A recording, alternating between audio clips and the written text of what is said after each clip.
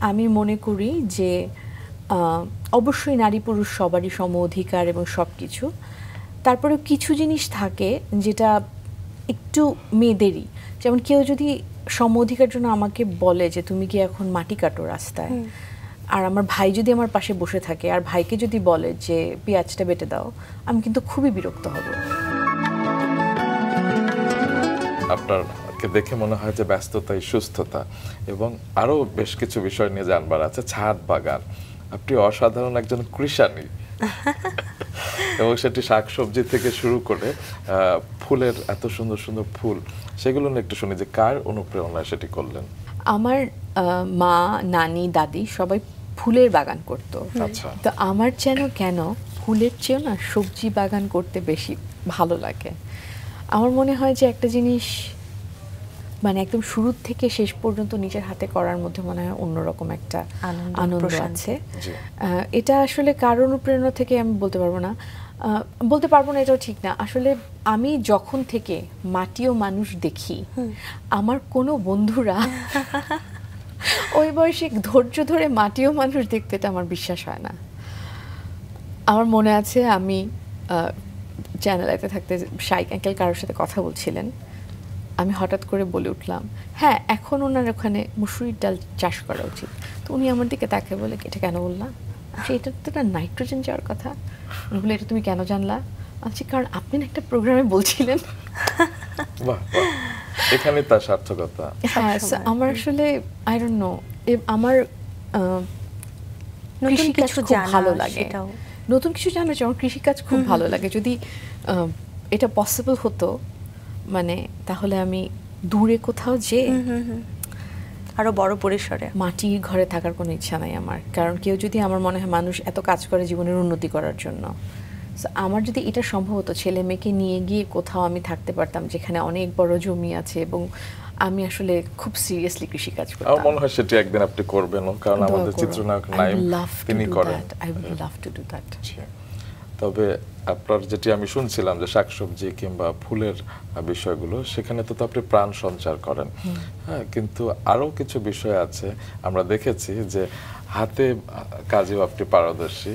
আপনি আপনি উল দিয়ে খুব সুন্দর সুন্দর সোয়েটার হোক কিংবা জামা হোক তৈরি করেন। এগুলো আসলে কবে শিখেছেন এবং অনুপ্রেরণা কে ছিল? প্রথমে শিখেছি হোলি ক্রস স্কুলে বিকজ হোলি ক্রস স্কুলটা হচ্ছে গিয়ে এমন একটা জায়গা যেখানে একটা মেয়েকে এটাকে আপনি অনেক নেগেটিভলিও দেখতে পারেন পজিটিভলিও দেখতে পারেন। আমি এটাকে পজিটিভলি দেখতে পছন্দ করি। কারণ আমি মনে করি যে অবশ্যই নারী পুরুষ সবারই সম অধিকার এবং সব কিছু তারপরে কিছু জিনিস থাকে যেটা একটু মেয়েদেরই।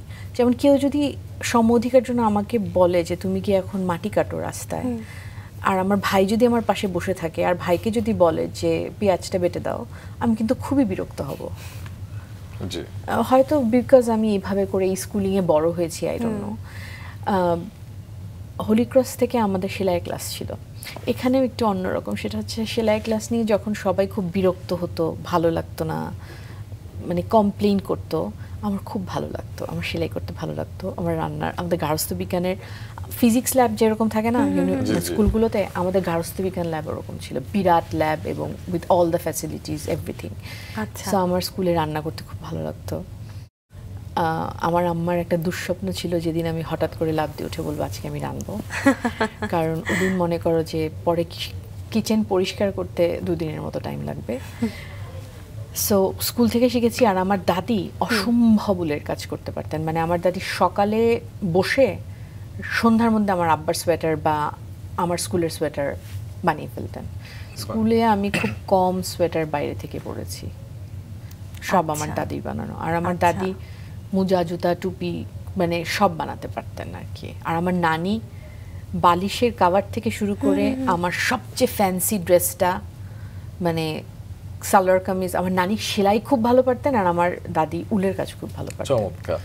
আসলে বট গাছের নিচেই তো আসলে গাছের জন্ম হয় তো সেটি বুঝতে পারছিলাম। আপনার চারপাশে সব আলোকিত মানুষরাই ছিলেন। তবে যেসব নিয়ে কথা বলছিলাম অভিনয় নাচ গান তো সবাই জানে। কিন্তু এই যে এই সত্তাগুলো সেগুলো সম্পর্কে আমরা একটু দর্শকদের জানাতে চাই। আপনার কাজের কিছু নমুনা একটু দর্শকদের দেখাতে চাই। দেখে আসি। দর্শক চলুন আমাদের আজকের অতিথি রোমানা রশিদ ইশিতার কাজের কিছু নমুনা দেখি।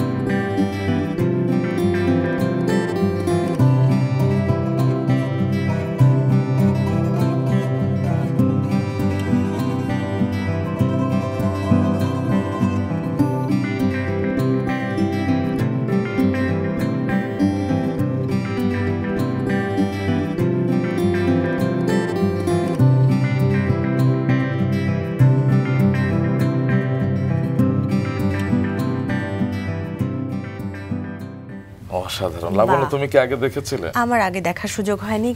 কি ভালো লাগল? বলুন বিনয় নিয়ে কিছু না, বলুন। অত ভালো না। আমার এই যে কৃষি কাটার কাজ শেখা কিন্তু ইউটিউব থেকে। আচ্ছা।